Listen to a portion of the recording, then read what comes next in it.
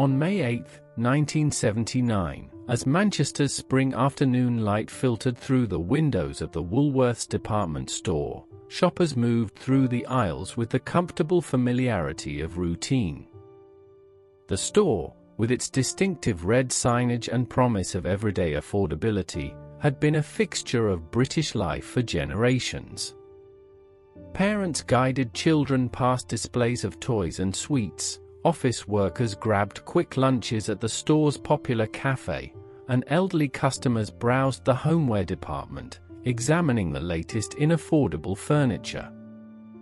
None could have known that within hours, this mundane Tuesday would become one of the most significant dates in British retail history, a tragedy that would fundamentally reshape fire safety regulations and forever change how Britain approached public safety in commercial spaces. The Manchester Woolworth store operated from a grand Victorian edifice, a building whose architectural character spoke to the city's industrial heritage.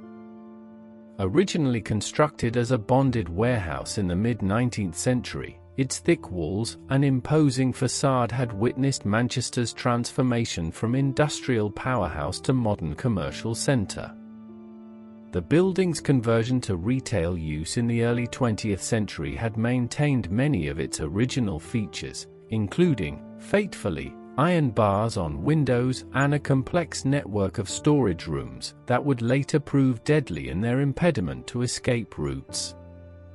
The structure's history as a secure storage facility for valuable goods had left it with a legacy of fortification that would tragically work against its modern purpose as a public retail space.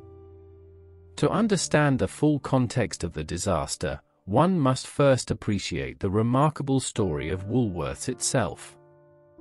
Frank Woolworth's journey from humble beginnings to retail magnate represented the quintessential American dream. His revolutionary five and dime concept, launched in Lancaster, Pennsylvania in 1879, transformed retail by introducing fixed pricing and self-service displays, innovations that would forever change how people shopped. When Woolworths crossed the Atlantic to establish its first British store in Liverpool in 1909, the opening was nothing short of spectacular. The company pulled out all stops, a full orchestra played as customers streamed through the doors, circus performers entertained the crowds, and fireworks illuminated the evening sky. This theatrical debut marked the beginning of Woolworth's love affair with the British public, and relationship that would span nearly a century. The expansion of Woolworths across Britain mirrored the country's own social transformation through the 20th century. The stores became more than mere retail outlets, they were cultural institutions that democratized shopping. Their motto, nothing over sixpence, later adapted as prices rose, represented a commitment to accessibility that resonated deeply with British consumers. By the 1970s, Woolworths had established itself as a cornerstone of British high street culture, with stores in virtually every major town and city. The Manchester branch, occupying its prominent position in the city centre, exemplified this success. The store's interior layout reflected the evolution of British retail through the decades. The ground floor housed the popular lunch counter and sweet shop, where the aroma of hot food mingled with the distinctive smell of pick then a mix candies. The first floor contained household goods, including the furniture department where the fatal fire would originate. Upper floors housed offices and rooms their layout still influenced by the building's warehouse origins. This vertical arrangement, while efficient for retail purposes, would prove catastrophically unsuitable for emergency evacuation. The introduction of polyurethane foam furniture in the 1970s marked a significant shift in British retail. This new material promised affordability and versatility, characteristics that aligned perfectly with Woolworth's market position. However, its presence in the store would prove catastrophic.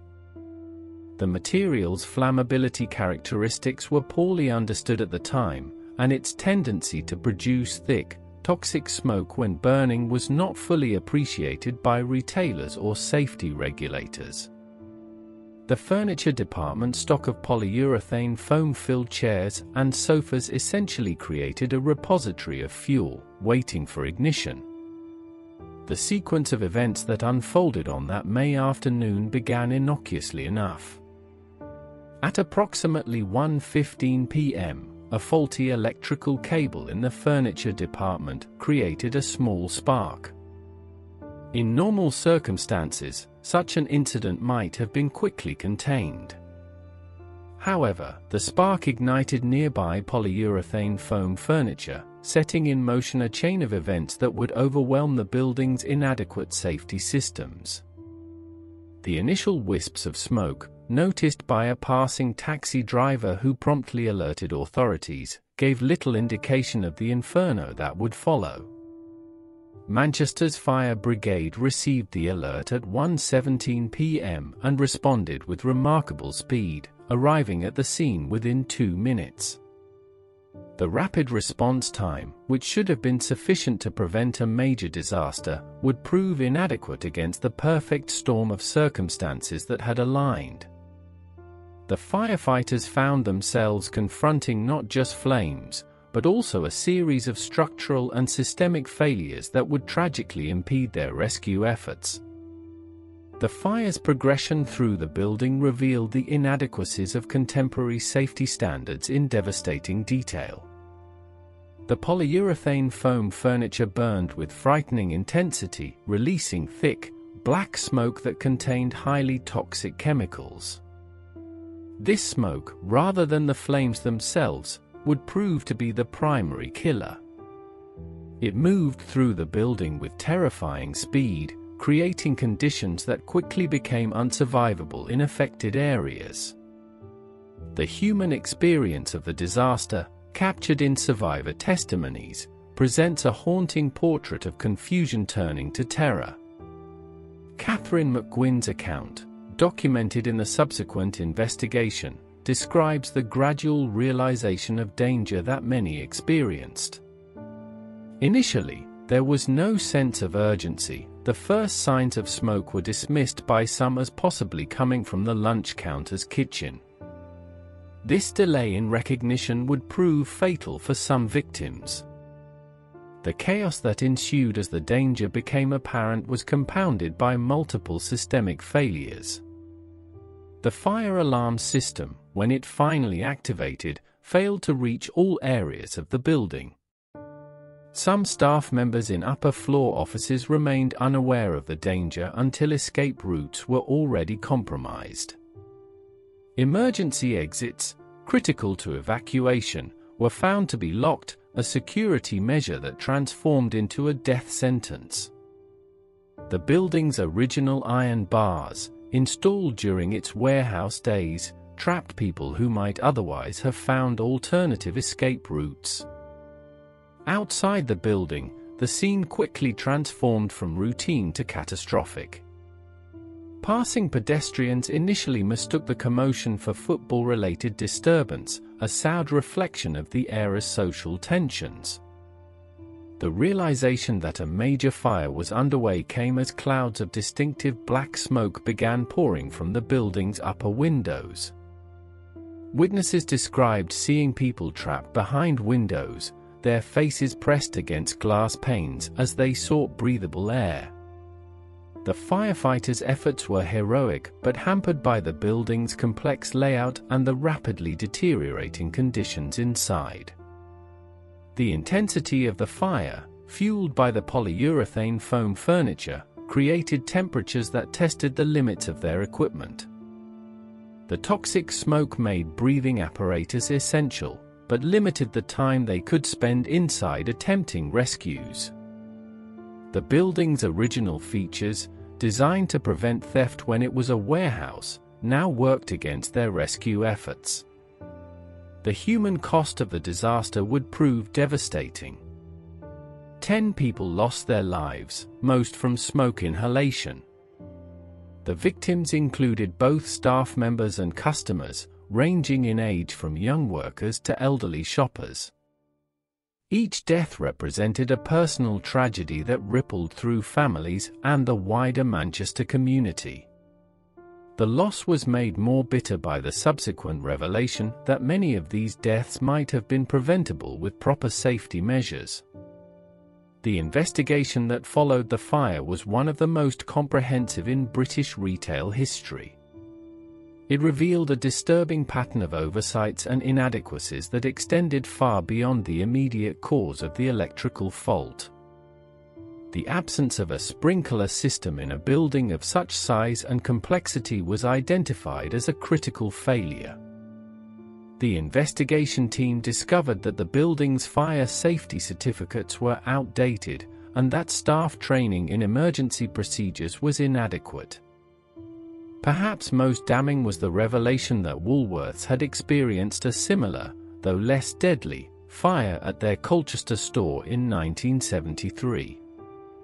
The Colchester incident had highlighted many of the same issues that would prove fatal in Manchester problems with evacuation procedures, lack of sprinkler systems, and the dangerous properties of modern retail materials. The company's response to that earlier fire, focusing on rapid rebuilding rather than comprehensive safety improvements, revealed a corporate culture that prioritized business continuity over safety enhancement.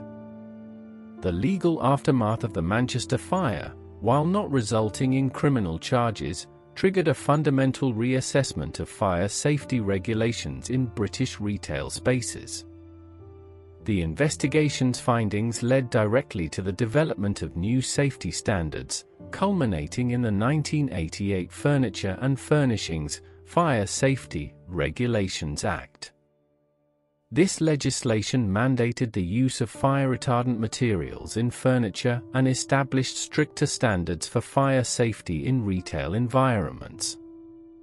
The impact on Woolworths itself was profound and far-reaching. The company, under intense public scrutiny, implemented widespread changes across its store network. Sprinkler systems were installed in all locations, regardless of cost. Staff training programs were completely overhauled, with regular fire drills becoming mandatory.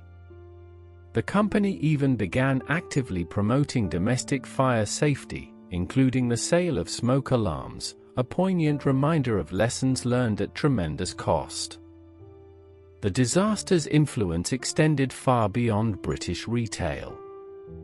It became a case study in business schools and fire safety training programs worldwide, illustrating the devastating consequences of prioritizing cost savings over safety measures. The tragedy highlighted the importance of regular safety audits, the need for comprehensive emergency planning, and the critical role of proper staff training in emergency response.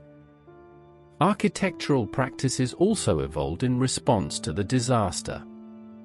The challenge of converting historical buildings for modern retail use received renewed attention. Safety considerations became paramount in such conversions, with particular focus on escape routes and the installation of modern safety systems.